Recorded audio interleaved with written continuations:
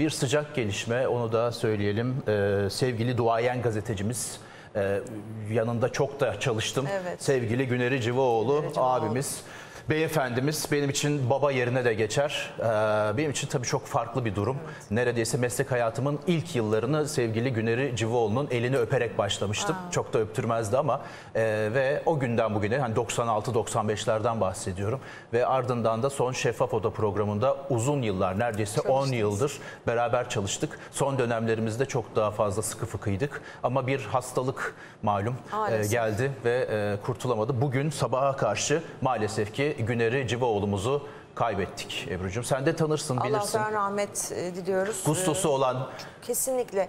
E, bambaşka e, yani 100 kişi içerisinde baktığınızda Güneri Civaoğlu'nu fark ederdiniz. Tabii, öyle bir aurası vardı. Duruş- duruşuyla, e, zaten gazeteciliği, zaten e, kendi bulunduğu durum hani namütenayi bambaşka bir yerde. Fakat hani ben o programlarında özellikle kendisini kişisel olarak tanıma fırsatım da olduğu için hem konuk oldum Şeffaf Oda'ya. Senin de ilk gördüğüm yerlerden biri aslında. yapımcısıydın programın. Evet.